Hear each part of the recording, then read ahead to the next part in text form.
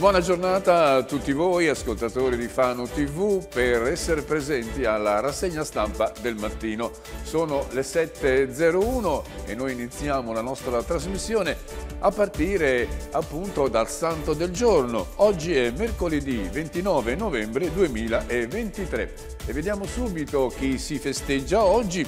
Vediamo che San Saturnino di Tolosa, visse nel III secolo evangelizzatore delle Gaglie, fu ucciso dagli idolatri perché si rifiutò di ginocchiarsi di fronte agli dei, agli dei pagani ovviamente, e fu legato, fu legato alla corda di un to, alla coda eh, di un toro, di un toro che fu poi lasciato libero di scorazzare per tutta la città finché il corpo del santo non fu ridotto a brandelli.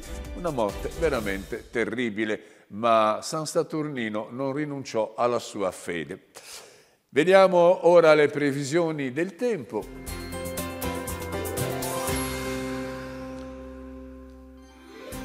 Il meteo di oggi ci dice che i cieli saranno in prevalenza sereni o poco nuvolosi per l'intera giornata. I venti saranno al mattino moderati da ovest e sud-ovest, al pomeriggio deboli da est e sud-est. Il mare è mosso le temperature 5 la minima, 13 la massima e il sole sta per sorgere, sorgerà alle 7.20 e tramonterà alle 16.37. Ebbene, con questo incipit possiamo sfogliare i giornali a partire oggi dal resto del Carlino, dove vediamo che l'apertura sulla pagina di Fano è dedicata ad un progetto che molti attendono, un progetto che è di là da venire, ma piano piano sta facendo dei piccoli passi, ovvero quello dell'arretramento della ferrovia. Pensate se tutta la fascia litoranea fosse liberata dai binari, ebbene si avrebbe un, ora costituiscono una barriera questi binari, quindi si avrebbe una continuità uh, tra centro storico e zona mare senza alcun ostacolo. Vediamo subito il titolo, Arretramenti ferrovia, pronto il dossier Fanesi per non perdere il treno. Ebbene, il dossier è sulla scrivania del vice sindaco Cristian Fanesi che sta esaminando lo studio di Ferrovie dello Stato. Entusiasti ovviamente gli albergatori perché questo darà un impulso al nostro turismo e per la stazione si pensa nella zona di Chiaruccia Forcolo, una chance anche per Marotta. Il primo passo che intende compiere l'amministrazione comunale è quello di cercare un'intesa con il gruppo Ferrovie dello Stato che ha a disposizione molti miliardi, sono miliardi veramente perché poi l'esecuzione del progetto è molto onerosa, nel piano degli investimenti 2022-2026. Comunque si parla uh, di anni di là da venire per eh, l'accelerazione degli interventi finalizzati alla promozione del trasporto con caratteristiche dell'alta velocità. Insomma, i binari adesso non sono adatti per fare transitare i treni ad alta velocità e quindi bisogna ristrutturare il tutto. E l'occasione invece di mettere le mani sul vecchio percorso è quello di spostare la ferrovia leggermente verso l'entroterra. Il comune di Fano avrebbe già individuato nella zona Chiaruccia-Forcolo la località per installarvi la nuova stazione ferroviaria, mentre il, diciamo così, il, il, luogo è molto, è molto oh, idoneo perché poi lì c'è la confluenza veramente delle principali arterie eh, cittadine, l'autostrada 14, la superstrada Fano-Grosseto, insomma è una zona, un nodo di traffico particolarmente importante, mentre la vecchia uh, stazione servirebbe per collegare appunto questa nuova stazione al centro della città. Il tracciato potrebbe affiancarsi alla 14 anche oltre la località di Tombaccia e Metauriglia. Di spalla, sempre sul resto del Carlino, abbiamo una notizia di cronaca Uh, sono i controlli che continuamente svolgono sia i carabinieri che gli agenti del commissariato di Fano. Quest'ultimi hanno così individuato ancora spacciatori nella zona della stazione ferroviaria, che è un punto molto sensibile per quanto riguarda le indagini. È stato individuato un brasiliano di 20 anni eh, che aveva con sé 5 grammi di cocaina eh, nascosti negli slip E poi anche un amico africano che è stato trovato con 2-3 grammi di hashish ed è stato segnalato alla prefettura. E a casa sua gli agenti, eh, la casa del brasiliano, gli agenti hanno trovato 200 grammi di hashish e circa 30 di marijuana destinata a giovani o giovanissimi. Il ventenne è stato arrestato per detenzione ai fini di spaccio, quindi un'altra azione dopo quella dei giorni scorsi fatta dai carabinieri in centro storico e anche nella zona della stazione che ha avuto successo. E vediamo qui un lutto. Devo dire che i giornali questa mattina eh, riportano diversi lutti. Sono deceduti tre personaggi particolarmente noti. Il eh, resto del Carlino dedica un'intera pagina a Fausto Mazzanti, un giocatore del Fano Calcio. Il calcio lo piange, si è spento a 72 anni a Piobbico, era malato da tempo. In gioventù aveva militato prima con l'Alma Juventus e poi anche con la Vis Pesaro. Ebbene, è un'altra vecchia gloria del nostro calcio che se ne va e se n'è andato troppo presto a 72 anni. E poi vediamo, e ve lo dico subito, gli altri lutti in questa foto notizia pubblicata dal Corriere Adriatico. Abbiamo il decesso dell'imprenditore edile Angeo, Angelo scusate, Candiracci, che è deceduto a 82 anni. Era un imprenditore benemerito che aveva così collaborato tantissimo con la protezione civile di Fano, aveva così dato molte, aveva fatto degli investimenti, più che degli investimenti aveva fatto degli atti di liberalità a favore della protezione civile, in modo particolare aveva donato quella casetta dove moltissimi, tantissimi ifanesi durante il periodo del Covid avevano fatto il tampone eh, il CB Club Mattei ricorda che aveva donato la casetta per i tamponi, lo dice proprio qui in questa piccola didascalia. E l'altro lutto è quello eh, provocato dal decesso del dottor Massimo Cecconi, un medico di, di base molto conosciuto, molto stimato, anche lui giovane, è morto all'età di 63 anni a causa di una emorragia cerebrale, una morte improvvisa eh, nessuno se l'aspettava, Massimo Cecconi era sempre presente, impegnato nel suo lavoro, affabile come sempre, aveva una pletora di, di, di, assistiti veramente importanti, assistiti che lui curava non soltanto nel fisico, ma con i quali intratteneva anche un rapporto amichevole e parlava di tante cose.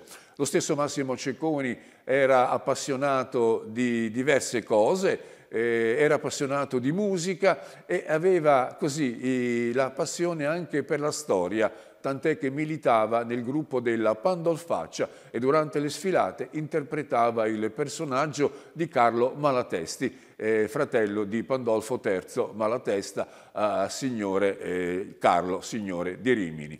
Ebbene, morto Massimo Cecconi, purtroppo un altro lutto Ora i pazienti saranno assistiti dai colleghi del dottore fino alla nomina di un sostituto da parte dell'azienda sanitaria territoriale. Riprendiamo il resto del Carlino e vediamo anche che si è, un, si è, tenuto un incontro di carattere politico tra le forze che si riconoscono nel centro-sinistra eh, sinistra e centrosinistra, insomma alternative al centrodestra, diciamo meglio. Ebbene, si parla di problemi di carattere politico in vista delle prossime elezioni, ma ancora si è in alto mare, perché questa riunione che si è svolta in realtà non ha messo dei punti fermi, insomma non è arrivata un, a nessuna conclusione. Il campo largo del centro-sinistra non fa passi avanti. Questo è l'inizio di questo articolo scritto da, uh, da, dalla Marchetti, giornalista del Carlino.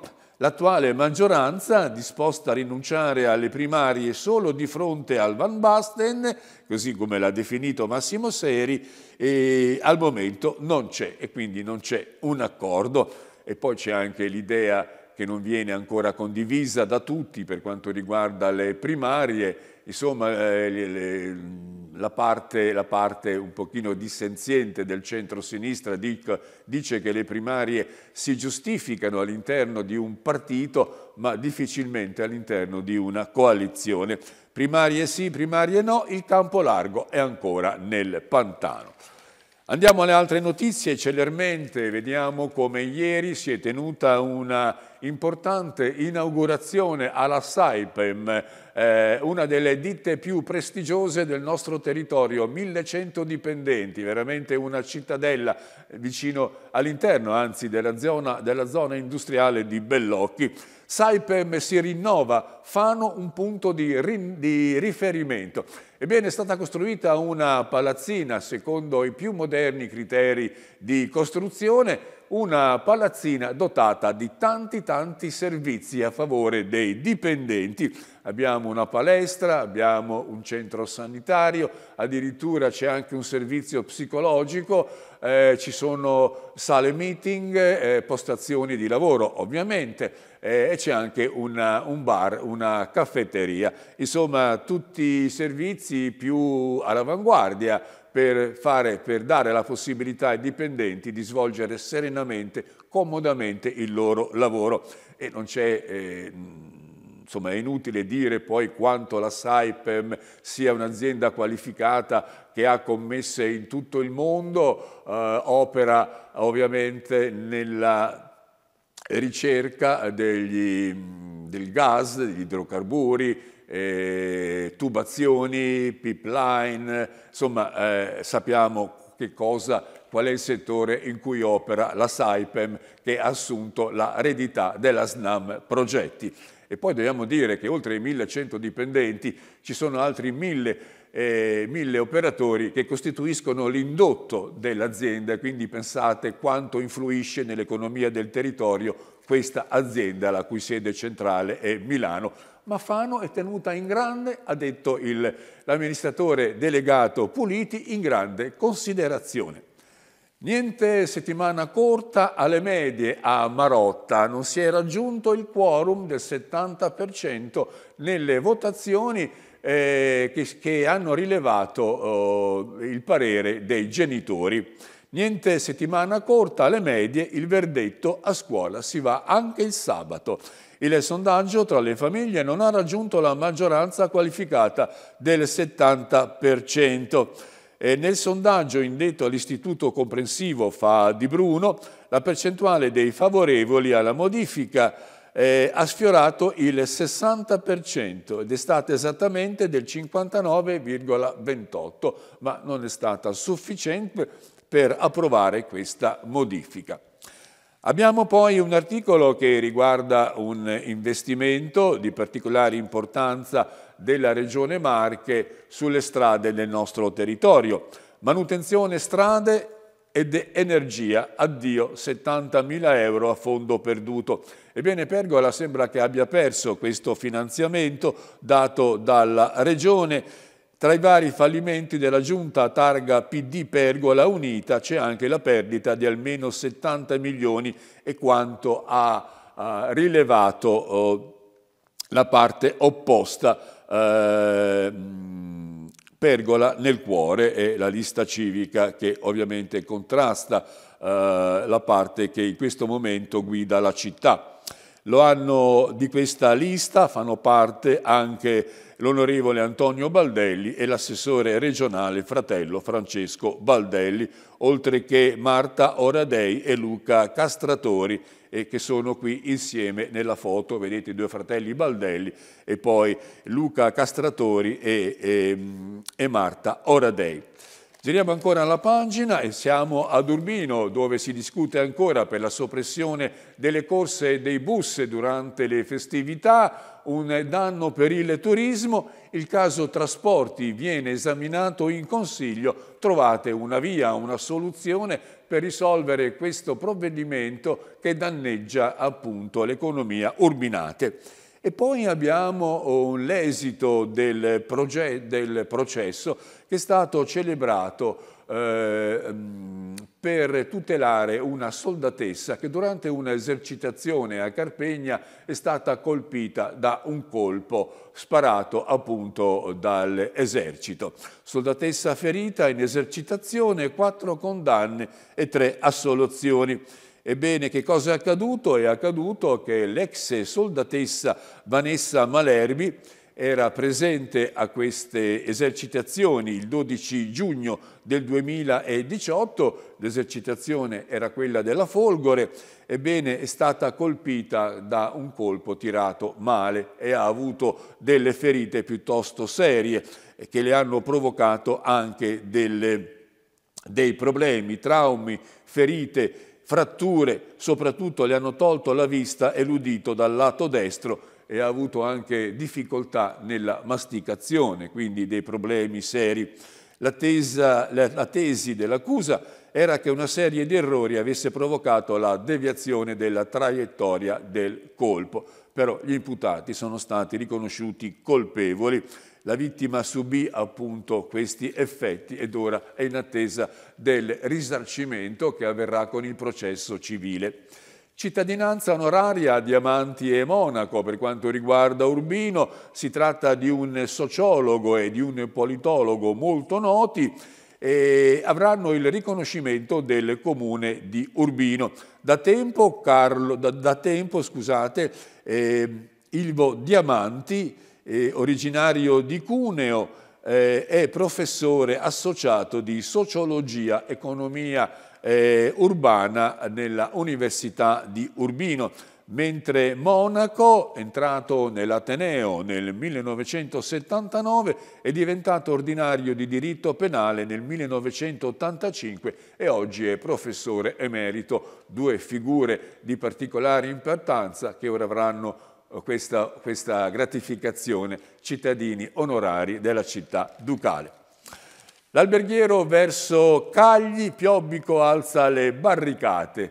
Si pensava, per quanto riguarda le unificazioni scolastiche, che l'alberghiero potesse avere una unificazione con un territorio con il quale aveva già stabilito dei contatti. In realtà sembra che la provincia abbia deciso diversamente.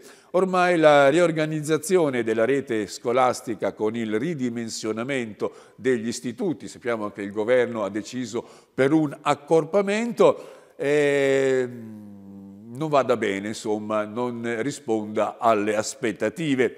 E quando siamo stati informati, leggo appunto sul giornale, quando siamo stati informati che il Celli di Cagli non aveva i numeri per stare in piedi, ci è stato proposto di aggregarci al Della Rovere di Urbania. Abbiamo accettato con entusiasmo, ha detto il sindaco Alessandro Urbini. Questi due comuni stanno intraprendendo infatti un percorso sempre più parallelo con la stessa Unione Montana. Invece che cosa accade? Accade una cosa diversa, una casa diversa perché l'alberghiero va verso Cagli e appunto Piobbico alza le barricate. Vediamo ora qualche notizia di Pesaro, dove l'articolo di apertura è dedicato al tennis. Eccolo qua. Al tennis, Sinner eh, veramente fa da attrattore a tutti i giovani che o si erano avvicinati o stavano per avvicinandosi a questa pratica sportiva. Effetto Sinner e Coppa Davis, c'è il pienone nei circoli di tennis, ora è dura trovare campi liberi e sono tantissimi ragazzi che affascinati dal personaggio e dalla bravura di questo tennista che ha così riproposto eh, la Ehm, la forza, voglio dire, e la superiorità di questo sport per quanto riguarda l'Italia, ebbene questo fa sì che ci sia un effetto trascinatore.